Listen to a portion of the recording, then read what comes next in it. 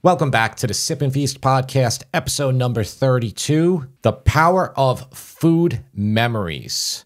So, the question to get you warmed up here think about this. You are wherever, it doesn't matter where you are, you take a bite of something, you are instantly transported back in time. It's the taste, but it's more so the smell. Right, Tara? I think it's a combination of both that has the ability to bring you back and it kind of triggers a memory of maybe it's the first time that you ate that food, but you can clearly see where you are, who is with you. Maybe it actually conjures up other smells because I find that sometimes happens. I can remember a smell, but it has to be activated by a, by a taste or another smell. It's very interesting how something just hits you like a ton of bricks. Mm-hmm. So for me, like, and we'll go, we're going to go over a bunch of them today, a bunch of uh, different ones that we have, uh, ones that like really always stand, they like stand the test of time with me. Anytime I'm making, say, zucchini, I'm brought back to, in a specific way, I'm brought back to my grandmother. It's just like that. It's so transforms me. And then once you get transformed, then you actually start remembering what you looked like at the time, what you were doing. You can remember the sunlight. Yeah. Shining in the room. It's so powerful. It truly is. It's it's uh has to do something with uh, the science of the brain and how we store these memories and how they kind of get locked away and then they you know they're in a vault i guess and then they don't come out of the vault until the smell like opens the vault. Yeah. It's yeah. it's a very very odd thing. There is science behind it and honestly one could do an entire dissertation on the subject. So we're not going to get into too much of the science of it here, although um I do want to say, you know, Jim and I did read an article that I thought was really interesting. Um it's it was from the BBC and it was called Why Food Memories Are So Powerful. In the article, the author, who was from um, the former USSR, I forget exactly where she was from, but she talks about coming here. I think that her family settled in California. And then at one point, she went back to she went back to Russia and she ate some strawberries that were there. Meanwhile, she's had strawberries in the US but she had not eaten these special types of strawberries or other berries that were specifically from that region where she was an, a toddler and an infant. And it triggered all of these different memories. And she shared that information with her mom, and her mom explained, Well, you used to eat these berries all the time when when you were a toddler. And it's just I guess that kind of prompted her to to write this whole article which I think is really interesting and we'll definitely link here. But one of the things um, that she quotes in this article is from a professor of psychology at the University of Massachusetts Amherst. Her name is Susan Krauss Whitbourne. And she said, food memories involve very, I'm going to read this because it's, uh, it's a quote. Food memories involve very basic nonverbal areas of the brain that can bypass your conscious awareness. This is why you can have strong emotional reactions when you eat a food that arouses those deep unconscious memories. You can't put those memories into words, but you know there is something that the food triggers deep within your past. The memory goes beyond the food itself to the associations you have to that long ago memory, whether with a place or a person. Because food memories form without any conscious editing, they take on all the attributes of the situations in which they were acquired. They also can become associated with the activities involved in the act of cooking the food. The chocolate cupcake a close family member taught you to make when they were young became part of a larger experience with that person. Your recollection of family meals similarly take on additional emotional meaning that then become associated with those smells and tastes.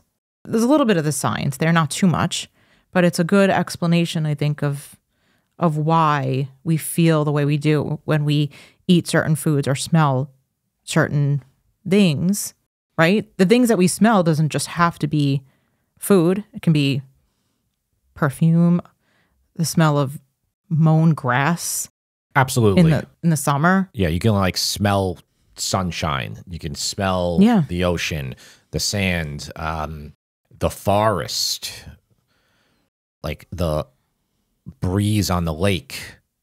Mm-hmm. I really uh, thought that was good how, how you set that up there. I love your voice. You have an excellent podcasting voice. you should maybe think about doing doing that one of these days. I'm available if anybody's interested. She's got a better voice than me. Um, it's the same mic, but her voice just comes through a lot better.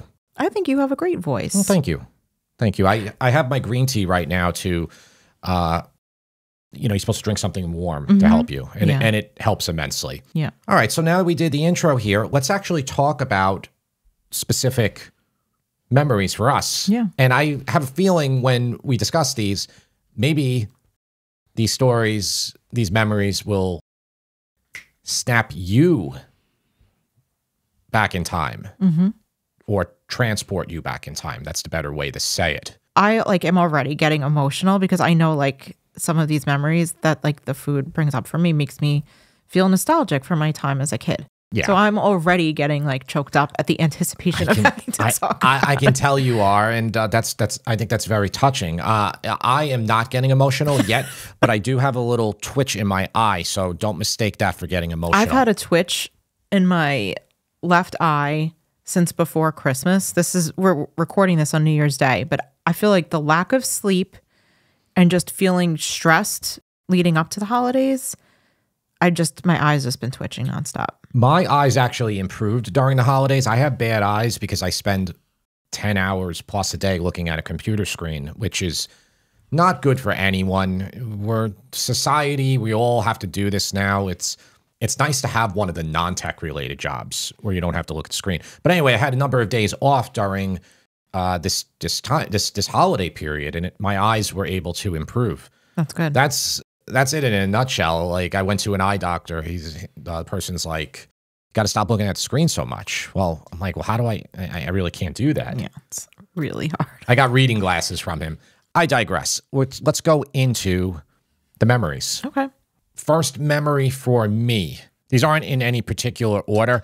I have like 50 of these, but these were ones that really stand the test of time. So there is this barbecue sauce. This barbecue sauce, the name of the barbecue sauce is Open Pit. Many of you will know Open Pit right away when I say that. Many of you won't. Tara, did you know? oh, Do you know what Open Pit is before I told you about it? No, No. I probably had it. I just didn't know what it was. So Open Pit has this distinctive taste, tangy, vinegary taste. Uh, I think the bottle says it's a Kansas City barbecue sauce. I think, but I might be wrong. Anyway, it's a barbecue sauce that is a popular barbecue sauce in delis. Long Island delis, New York delis, I would assume delis in Westchester as well. It's probably because it's on the trucks of the food distributors like DiCarlo and places like that. Re- Restaurant Depot probably stocks it. Any deli I've ever been to, it's open pit. But when I was a kid, right down the street from me, I was blessed to have a deli. So the deli's name was Ziggy's Deli, and it also then switched to uh, uh, Bridge Street Deli because Bridge Street is the intersection, the intersected street where I grew up on and same owners, I think, and everything. And it was just like kind of in almost like a residential development because all I would have to do is ride my bike down down to the end of the street, make a right, hit a cul-de-sac, jump through there, and then I hit like kind of like a main area. There was like a 7-Eleven and a whole bunch of stores and everything. But this deli, which is now a Dunkin' Donuts, was there. And me and my friends, you know, from when we were young, we would always ride our bikes there and we would pick up heroes. And the two heroes that we would have the most were the Texas style chicken and the hot cheesy beef. So the Texas style chicken is the one with the barbecue sauce. It's a chicken cutlet, like a good breaded chicken cutlet, pounded flat, nice big cutlet. Uh, the good hero rolls that are available everywhere in, in the New York area, you know, the bread. and then mozzarella cheese and this barbecue sauce. Really, really simple, but just the combination of these was just amazing. I have a friend, uh, James, and you know, he's still I still talk to him. He messages me and he's like, "When are you going to make a video for uh, the Texas style chicken?" so it's like it's been in our consciousness forever. But anytime I have that barbecue sauce, it sends me back in time to riding a bike when I was 11 years old with with my brother who was 9 and you know my friends and getting that Texas style chicken. Uh, the reason the memory got unlocked the other day is because we got heroes from this place called Seaport Deli. Seaport Deli is the most famous deli in all of Long Island, or one of the most famous. Guy Fieri went there for diners, drives, and dives. It's right where we live now. It's a wonderful deli. It's been there for like about 70 years, I believe. They got pictures dating back to the 50s or 60s. And I got a sandwich from them. Amazing sandwich. They have some of the best heroes of any place. And right when I bit that sandwich, because it had barbecue sauce on it, mm-hmm. I was transported back in time. I love that. You know who I think would like that sandwich? Who? Sam. Sam, yeah. She loves barbecue sauce on everything. It's such a simple sandwich because the sandwiches at Seaport Deli are anything but simple. So this is the this is the recent hero that I got. Mm-hmm. Like the Seaport Deli one had like all the stuff that I had on the Texas style chicken. Then it had like sweet potato fries and like German potato salad and just I mean these heroes are they're they're so big and they're such a good value. Like when you take a bag from there, like four heroes, Yeah. you need like you need help to hold that bag to get out of there. If you go there, you might look and be like, why am I going to spend $16 for a hero? Trust me, when you get the hero or the sandwich or whatever it is that you get, you get it like three meals out of it. Yeah. So it's, you're not really spending $16. Yeah, I love this place, and they have um, they like have like famous, I think, players, baseball players, right, and who've gone there, and so the sandwich is named after them. They have like local politicians and Well, stuff. they had a local firefighter. firefighter. Yeah. yeah. I don't know. I don't think they named anything Who after was, a the, who was the firefighter? Was that the Jacob DeGrom? no, it's something. Was that a baseball- that's a Jason, baseball player. Jason Matz or something like that. Matz. But yeah, a lot of the sandwiches are named after local people, which is pretty cool. Yeah. So that's my memory. What's yours? Okay. So one of my triggering memories is my my grandmother's salad dressing. So when I say my grandmother, I mean my dad's mom. She passed away when I was in second grade, so I was really little. Um, but her salad dressing, while I don't still not 100% sure everything that was in it, every time I taste something like I I think I've kind of nailed her salad dressing. I've tried so many different times. Whenever I taste something that tastes like her salad dressing, it transports me back to her kitchen. And I can remember how she smelled. I can remember how her bra strap would always like fall down her her shoulder. Like I'm just transported to that. And I'm actually like transported in such a way that when I'm envisioning myself there, I'm seeing myself through like a child's eyes. Like I'm imagining the room around me, but not through an adult's eyes, but Yeah. through a child's eyes, which is so strange and interesting. It's Yeah, it's like out it's of body incredible. experience. It really is. It's like when you die and when you're in the operating table and you're looking down at the doctors operating Mm-hmm. on you. Yeah.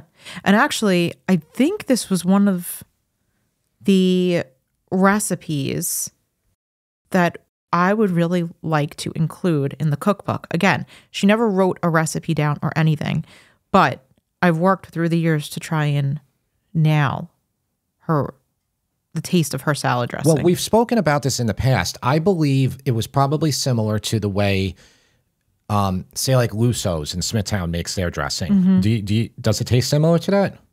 um sort of. Because Luso, I mean, I think they're using vegetable oil, not Yeah. olive oil, Yeah. definitely, and white vinegar. Mm-hmm. Uh, really simple.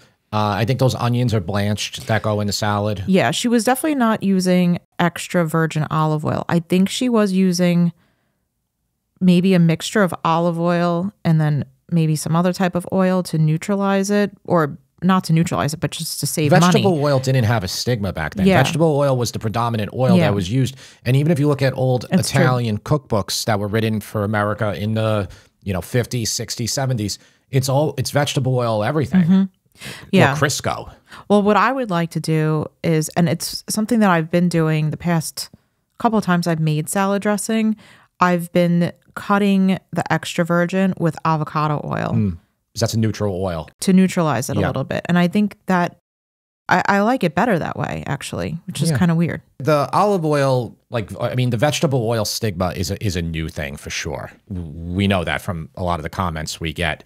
Uh, Yeah. People, younger younger cooks, people who are starting to learn for the first time. I, when I say younger cook, I mean someone who's like five years of cooking.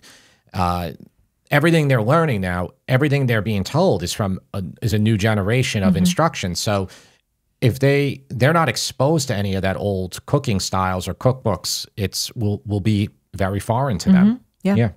All right, let's move on to the next one. All right. What's your next memory, Jim? Shrimp Fra Diavolo. So I did a video for this one when I started the channel. It, we're going to do another one. Uh, if you want to really laugh, I recommend you watch the video. I have the ponytail, uh, massive hair in that video, and just um, I either look ridiculous or awesome, depending on. You look like Keanu Reeves' like brother, who's maybe like a little shorter. And, You're like you look like shorter and fatter, bizarro Keanu Reeves. yeah. Thanks, Tara. You're welcome. Yeah, no, I had the hair. The hair was long, but anyway, that video. Uh, forget about the hair. It's not.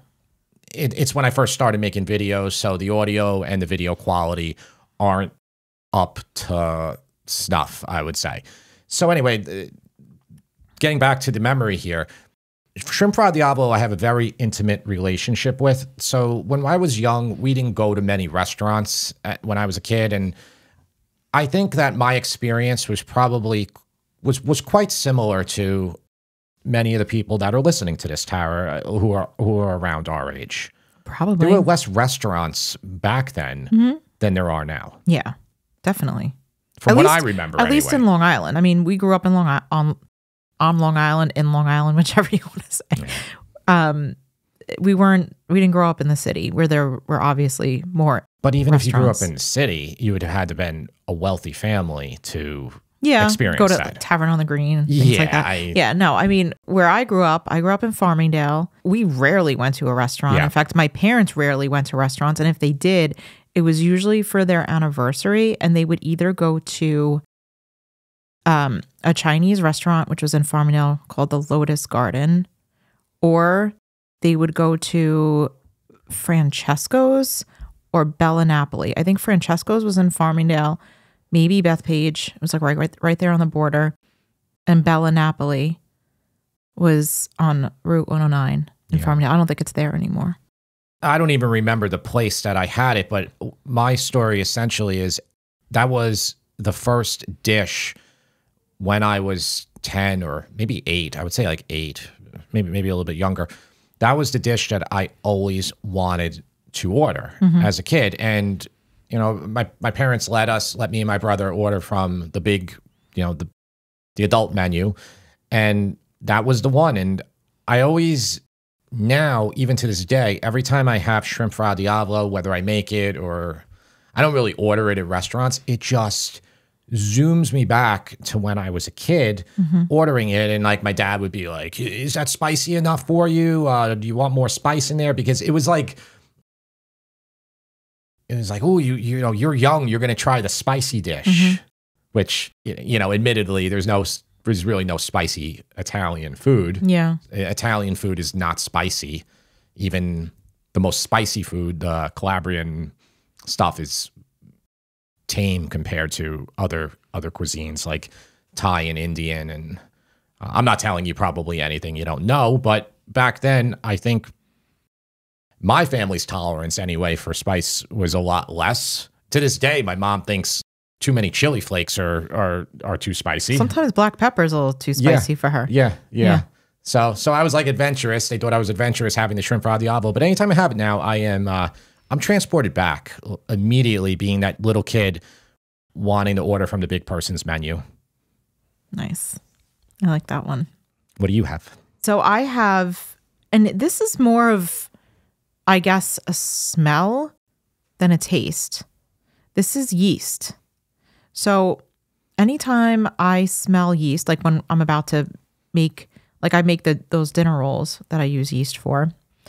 Um, whenever I have a smell that yeast kind of like mixed with the flour and the water or whatever liquid it is that I'm using, it transports me back to this one day in particular when I was little. I really think I must have been three because I don't think my sister was born yet. My sister, uh, my sister and I are four years apart.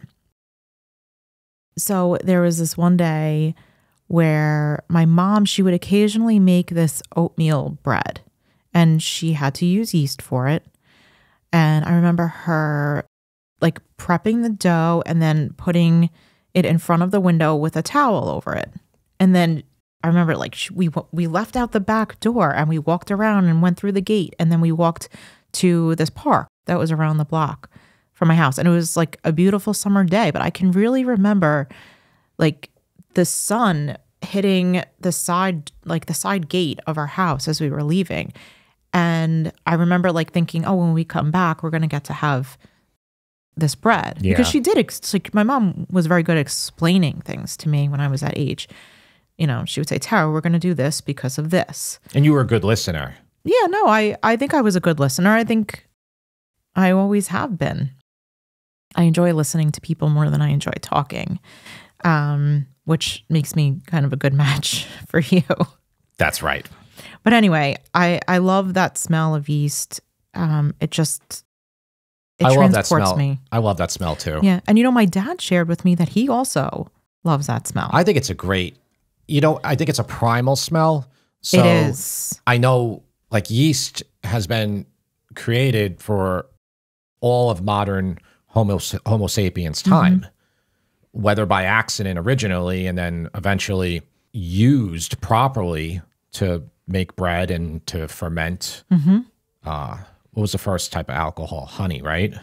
Well, honestly, I don't meat. So mead is fermented honey, but I think the Egyptians invented beer, They invented beer. and I think beer might be older than mead. Yeah. But I don't know. I'm not a food historian, although Yeah. I I wish I was, because I think that would be an awesome type of thing to study.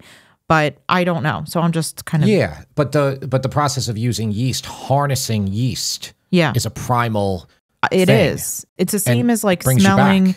It's the same as like smelling meat cooking over a fire. Oh, like yeah. that's primal. It taps into that primal part of the brain. Let me ask you something about that. A a little bit of tangent here. So we have a we have a good amount of vegan and vegetarian listeners. Yeah. So what do you think about that? You say the meat is a primal smell. Now, for vegan and vegetarians, is that something that does that affect them that primal smell or not? Or do you think it's like their rational brains override that primal urge? So I can only speak for myself. So I spent a great deal of time during my younger years as a vegetarian, right? Um, in fact, I have another memory that kind of ties into this in a little bit. But um, we became vegetarians when I was eight years old. My mom read Fit for Life by Harvey and Marilyn Diamond. And we she decided that our family would would no longer consume meat. Um so from the time I was 8 until probably the time I was in high school and started sneaking chicken sandwiches or chicken nuggets from the school cafeteria, um, I can say that for me, I constantly craved meat.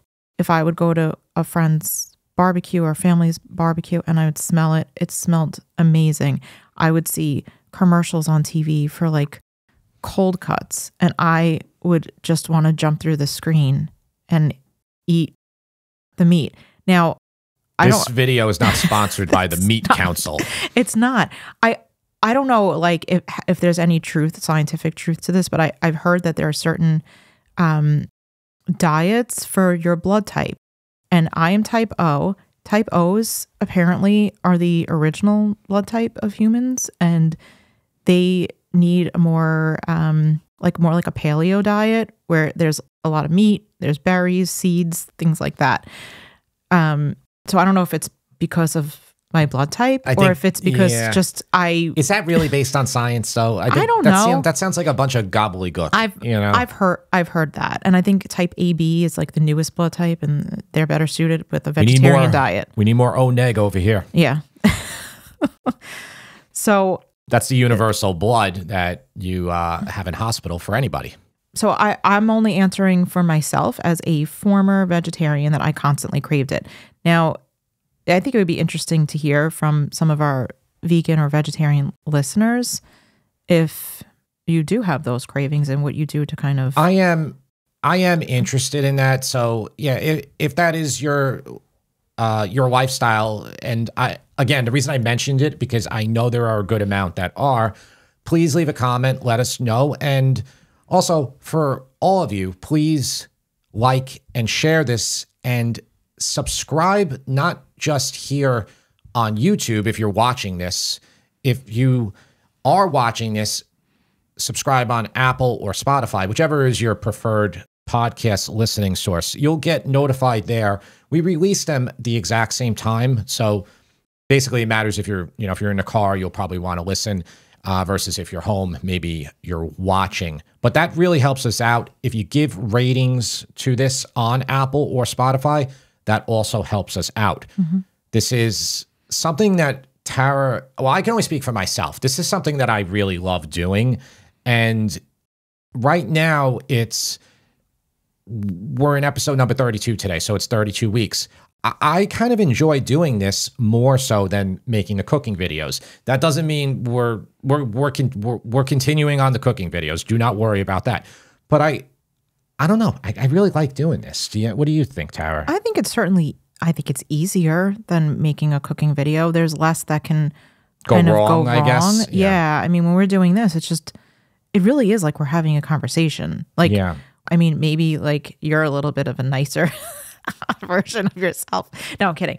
But no, when when we're in this podcast room recording our podcast, we're having a real conversation. So many times we'll be in our office and we'll have conversations like this and then we're like, "Oh, that should have been a podcast." Yeah. Because this is how we are in real life. Yeah. I mean, I'm I'm actually a little bit more sarcastic off camera because I can There were a number I try and be on good behavior. there were a number of comments for today's episode, which was episode number 31, which was uh, the I- food the yeah, food for the saw 2024. I saw someone they were they mentioned they were like, I don't I didn't want to come here to watch you two argue. Yeah. Which I I agree. I mean, Again, we're we're not episode we're not in episode 320 here. We haven't been doing it for 7 years. So we are kind of feeling this out. I I will tr- try to I'm trying to be honest here. Is this is our normal kind of conversation. There probably as, as Tara said though, there's a little bit more sarcasm involved. yeah, in real life. Yeah. Yeah. But anyway, I digress. Please leave the reviews, the ratings, a five star rating, not a, not a one star rating. Okay, enough of that. Let's go on to the next memory. All right. Tell me what is my next memory, Tara? Fried zucchini you put on your list. Fried zucchini. Okay. So this one transports me quicker than anything. So when I am frying zucchini and I fry zucchini during the summer when I grow them or you know buy them from the store, they're abundant, they're everywhere. Whenever I fry the discs in the olive oil, I for, for making whether it's spaghetti Nerano or just just a simple fried zucchini, it's just delicious in olive oil by itself. Once they come out, a little salt on there. Mm-hmm.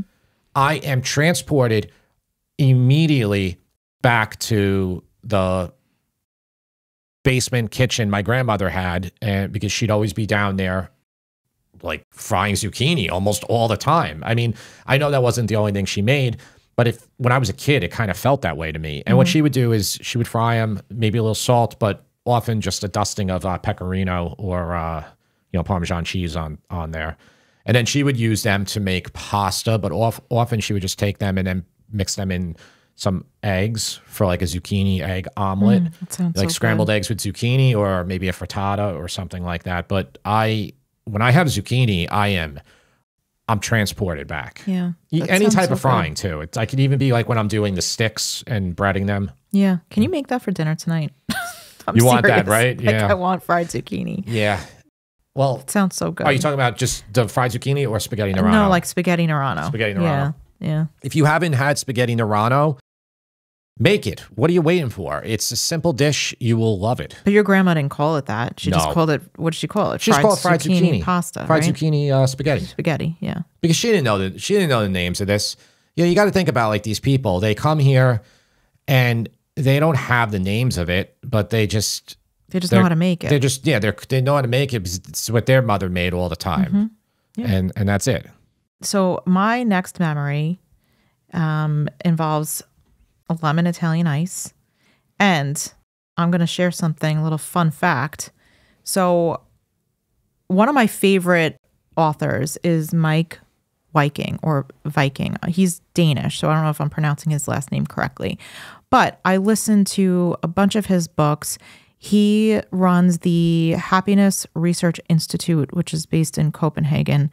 And he talks a lot about the Scandinavian concept of hygge, H Y G G E. Again, not the best pronunciation. He did put out a book a couple of years ago called The Art of Making Memories. Prior to that book, in order for him to conduct some of his research, he did a worldwide study that he opened to all of his followers. And I actually participated in the survey. And one of the questions was um, to recall one of your earliest childhood memories and to describe it. So I described mine, and it actually wound up in his book. Hmm. Here, I'll put it right here so people can see it right in front of my head. Is that in focus? Right. It, it always tries to grab my eyes. That's why. Okay. So that's why I had to cover my face. Yeah. So it made its way into his book. Walk and this was a quote from my memory. Walking down the main street in the town I grew up in with my mom while eating a lemon Italian ice. So I say that because when I have a lemon Italian ice, and it, I'm not talking like a Marino's Italian ice from the grocery store. I'm talking about an Italian ice from a pizzeria Yeah, with the white cup. in a white Dixie Yeah. cup. Okay, those are the that's what I'm talking about. I am transported back to Farmingdale circa 1981 maybe. I don't know. I was born in 1978. So maybe it was that time. I was really little. My mom would take me to Gino's pizza and I would always ask for an ice. I would get an, a, lemon Italian ice and there used to be i think it's still there like a little village green in farmingdale and they used to have a fountain. I don't know if the fountain is still there but i remember the fountain being on. I remember the smell of the water from the fountain and i remember it just being a warm beautiful summer day. So when i taste the lemon italian ice that's what i'm like immediately brought back to Yeah, I mean, ice. I I think the ices have. That's one that you can easily transport yourself back because a lot of those memories are during the summer. So Yeah. like whether it was like the truck that would come around that would have them, um, or the p- local pizzeria or or whatever they would have them. I mean, I remember like like the old days they didn't have a lot of flavors. They had. uh yeah I think the place. I think it was like pineapple. Believe it or not, Mm-hmm. The chocolate chip. Van- you mean vanilla vanilla chip. with the chocolate vanilla chip chip, yeah, lemon, obviously, and Chocolate. chocolate, cherry cherry, and that was like kind of rainbow. rainbow, rainbow, yeah, Yeah, those are the main Yep. flavors. I think that's another thing we're going to include in the cookbook. yeah. Well, how to make them? Yeah, they're, I think they're fairly simple to do. Mm-hmm. I think it'll be, I think it'll be nice, and that's what the cookbook will be. We're kind of in this limbo state now. We, we I wish I could snap my fingers and have it out, but that's not. We don't want to put out we want to put out the best product possible so it will be it will take a while to do Yeah, definitely. All right, Jim. Next on your list is the pool bag bar burger. yeah so pool bag um i don't know if you're listening if you worked in the city uh what was it like in the 30s murray hill area i, I think say so. yeah. Yeah. we went there for for a f- few years until it was gone. I think the whole block was bought by a developer and like a high rise was put up over there. And which is, you know, the history of the city. It's just always doing that. But this place had the smell of this place when I would go in there, and I used to go there with uh, people I worked with first. That's how like, I found out at the bar. We, we would get drinks and play pool. But the burger they had was just, in my opinion, was the best burger in the city. At that period of time, everybody was saying Patrick Kavanagh's had the best burger in the city. Yeah. Now there's some other places, and I'm like a time capsule of like how the city was like in the 2000s, like the early 2000s. Um, I'm, I'm sure Patrick Kavanaugh is still there though. But this place, Pool Bag, the burger was just so juicy and d- the best ever. And so now, anytime we're at an Irish bar, I always compare it Mm-hmm. against that burger. So I guess the memory essentially is when I'm in that like the Irish bars that we go to now, and I smell the bar, you know, the beer on the floor, and you know the little bit of um yeah like stale musty flavor uh flavor smell It's a good musty smell. musty smell a Yeah. bar and Yeah. but I will once I like smell a burger coming by it will always transport me back there. What about you? What did you think of that burger? I loved that burger. It was so good. I I think Simple burger. it was simple and I think more than the burger, it was just like that feeling that like we would meet there. I think it was every Thursday we Yeah. would go there and we would play Golden Tee. Oh yeah, that? Golden Tee, And another would- time capsule. Yeah, and we would play pool. And the beer that we had when we were there was Sam Adams. Sam Adams. Like I never, I don't remember getting Sam Adams anywhere else other than that place. But that was like the beer that we would drink when we when we would go there. I always remember there was two guys. Do you remember those guys who were always in there playing pool? They would bring their pool sticks. Yeah. Oh like- my god, I forgot about that. that? Yeah.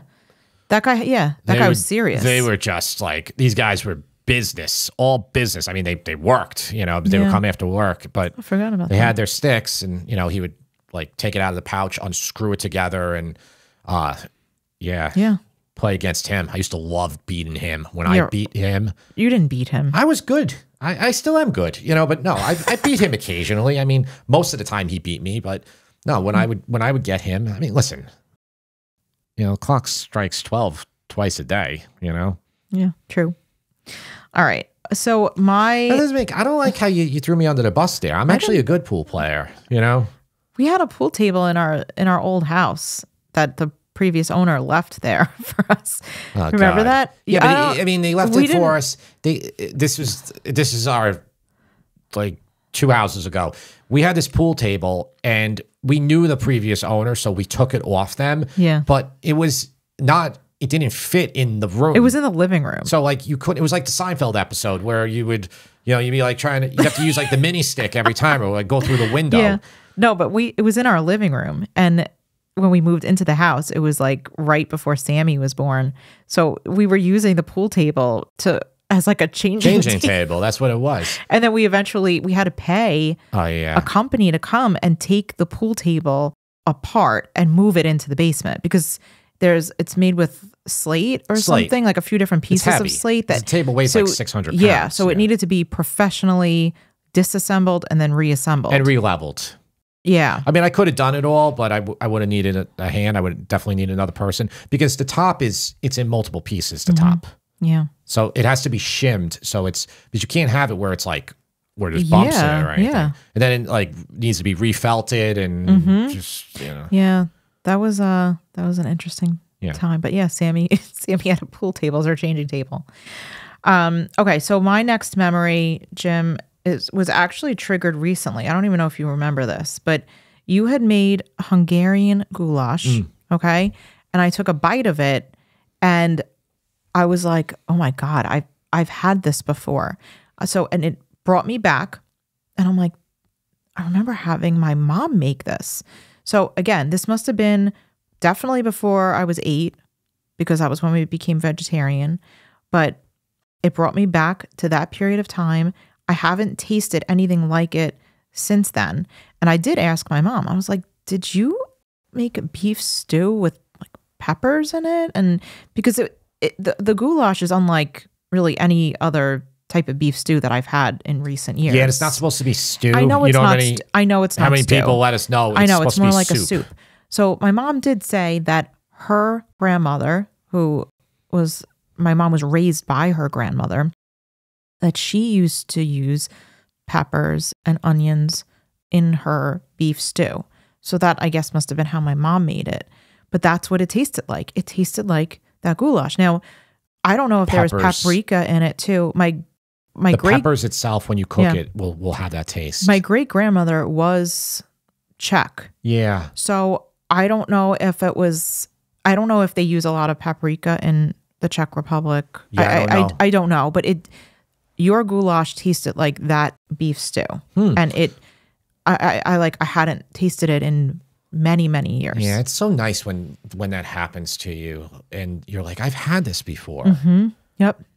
I got one more that is a real quick one, but it definitely like unlocks that's just smell now. So it's the smell of essentially making a good marinara sauce. So I was on, I cooked in from when I was young and I was pretty proficient, but I never was able to quite get my food to taste like that typical uh, Italian restaurant in New York circa 1980 or 1995. Basically, heavy on garlic, red sauce fare food. Basically, Rao's. You know, that's what Rao's is. Rao's is like the, you know, the most exclusive and one. But all the places are the same, whether it's Carmine's, um, and like La Parma out here in Long Island or Tony DiNapoli in the city. They're all, they're all the same. The food is simple, and I wanted this sauce to be have that super garlic flavor. So I was kept kept on experimenting with it. And at this time, I was living in the city. I was 21 or 22, like right out of college. I um, started doing well with my job, so I was able to rent. And I was on a six floor walk up on the Upper East Side, and I would make food there, test out food while my roommate was eating can of soup every night or uh, and Tosti- tortillas. Tostitos. He was like this guy. The, the amount of contempt he had for me when I was cooking there, it was like he would just look at me. He had he had his soup in his plastic Tupperware Well, thing. he could have eaten your food. I offered. I did Yeah. offer, but he would just like, "What are you doing, Jim? What are you doing?" And eating the Tostitos. But anyway, I was working on my sauce during that period of time, and I finally nailed it. Like I put in like 15 cloves of garlic.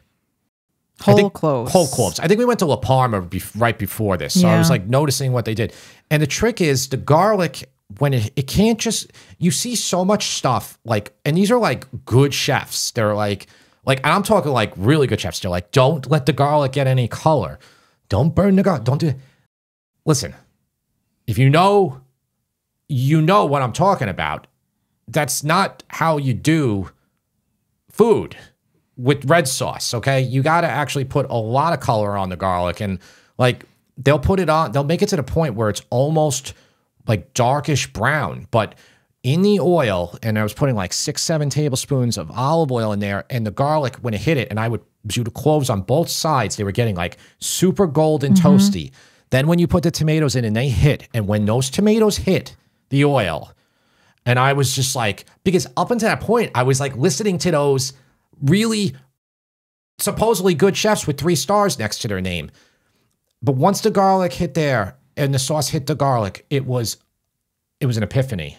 Mm-hmm. The best sauce ever. And then, you know, you had it right after I did it. Well, it tasted it tasted like La Parma. It's Yeah. like you finally figured out how La Parma made their I don't want to say marinara because they use it in everything. They, They use it in in their clam sauce. Yeah, they use it in their arrabbiata. It's it's always those whole You know what they garlic do? cloves that are like almost burnt. and you know what they not. do? How they do it?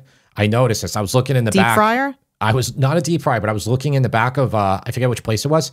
They had a bowl the size of it was this big. It was filled Yeah. with the garlic. So it wasn't confit, but it was wa- the garlic was already done in the oil. the so what they do then to start start, they just take a ladle, they oh. throw it all in the pan. So then whether they're doing clam sauce or tomatoes or whatever, that's how they do. That's it. a good So idea. It's a great idea. Yeah. So that's how that's how these restaurants, most of them I assume, are doing Yeah. it. And uh, it, it just unlocked it for me. So now that memory, every time I have that smell, when I get my garlic to that stage, I am transported back to Manhattan, you know, Mm-hmm. uh 2000 what, 1? Yeah, right around there. Yeah. And that's it. That's when I re- that's like really when the epiphany happened. Mm-hmm. Prior to that like in college I was making like I was doing well. I was making good stuff for, for, for my friends, which was which is weird, you know. Um, like it was like three in the morning, um, but I didn't have the sauce nailed yet. Yeah. I think I nailed it right then, right Yeah. Yep. in that old pre-war building when the power would go out.